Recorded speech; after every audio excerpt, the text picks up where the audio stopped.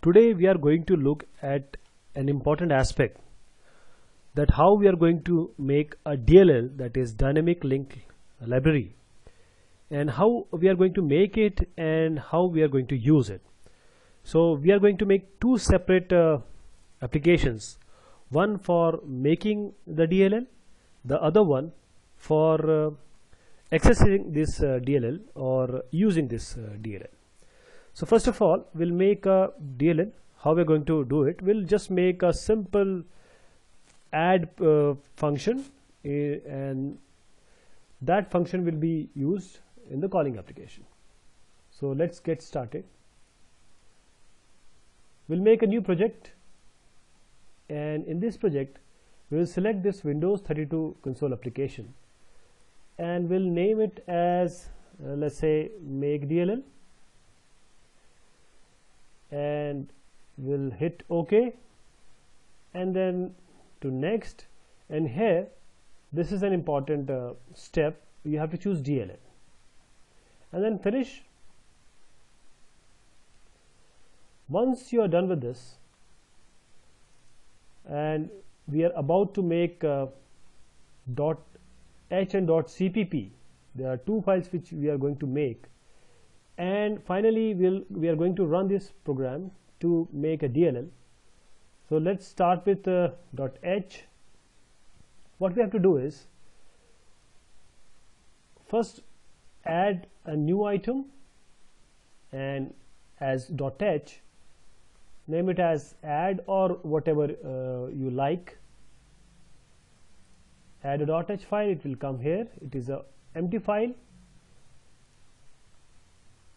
make a new item again and again name it as add. We'll have uh, add.cpp we'll have add.h or rather you can you know change here also because this is also an empty file because this is the basic file of this project. But still for the sake of uh, completion you know you people say that we have a cpp file we have a .h file we want to give only .h and dll so that's why i did that. You can make here also. So what i'm going to do first of all in add.cpp that uh, I'll make a function. And this function will be simple. Return type is int. Add please mark these uh, uh, observe this carefully because this is the function this is the declaration or you can say definition which we are going to use uh, now while importing and exporting. So int b and we'll just return a plus b. And to make this CPP run we have to add hash include add.h we are going to give the declaration of this function there. And because we are working with C++ we have to give stdafx.h2 come to add.h and here what we are going to do we'll say if add uh, h is uh, not defined please define and we'll end this end if and we'll write just li one line in between this. What will be the line?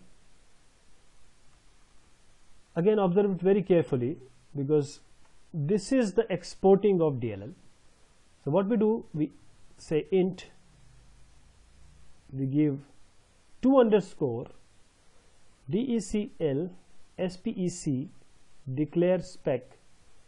And then we have dll export and now what I was referring to is add int a comma int B and just end it with a semicolon. So this line you have to uh, write here. So we have add dot h with this one line with certain uh, def, def and endif condition. And here we have .cpp which actually has the definition of our function. This is done now. What you need you just need to build the solution. And if at all any error is there you can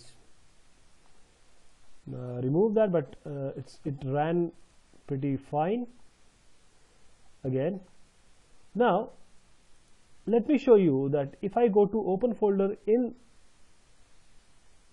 new window in this debug in this debug I have a DLL I have a lib.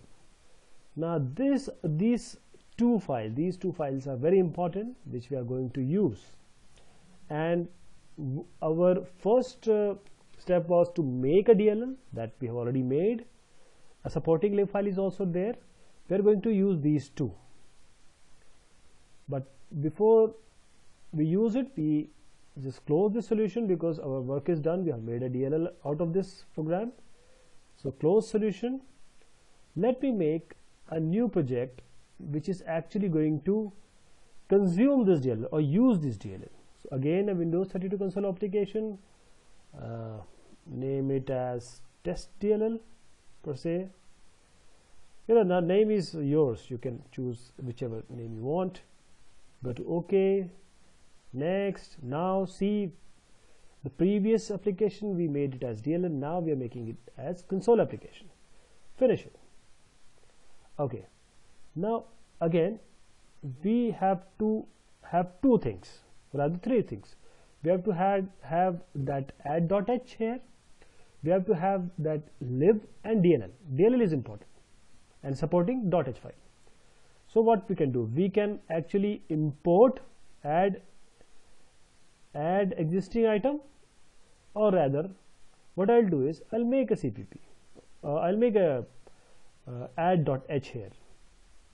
So let me make a I'm just making it because I need to show you the code what to write so add new item dot h and say add. Why I'm saying it as add? Because actually there are two ways. We can include it. We can actually add existing item like this or rather I can make add.h and what I have to write is same thing same thing I have to write.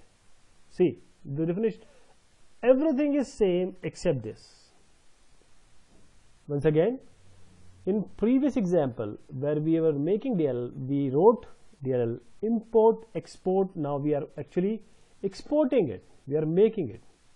We need to write this. This is very important. So this DLL export if you uh, you know add this file from the previous uh, uh, application you'll get this. Now you have to actually change it into import. This is very important. You have to change it as import. Now our work is done. Add.h has been included. Go to this cpp simply go to this cpp and what you have to do is just give two variables. Say x is 100 y is say 1200 you can print I'm using crude C so I'll add studio also. You can use whichever line you want just print it. And now what I'm doing is I am actually calling this add function which is nowhere to be found. It is there in DLL it, it was in previous application. So we need to get the result also here. So I'll show the result in the console for that. I'm using this getchar. And since add.h is there we have to add hash include this also. Okay. We are done but still we are pending with the files in file inclusion. So I'll just save save all. I'll open the previous solution make DLL I'll go to open folder. I'm right clicking at open to open folder in Windows Explorer. I'll go to the place where these two file I can find. I'll pick these two file copy it and again go back to test.dll because this is the actual testing bed. I'll again go to open folder in new explorer and what I'll do is I'll just copy these two files here. Now as I copied it how to know that these two files are there? For that one more last thing which I have to do is I have to go to the properties and to linker to input and add additional dependencies now what I have to give? See what were the name? Make dll.lib this is the external dependency. Okay apply okay. And now everything is has been done. We are going to execute the program run the program and see we have x equal to 200 y equal to 1200 add is 1300 this add function which we have employed here is actually taken from the previous application where we build the DLL.